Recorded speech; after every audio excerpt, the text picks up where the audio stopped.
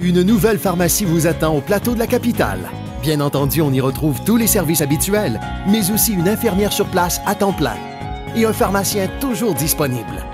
Jean-François Graillon, pharmacien, membre du groupe Proxime.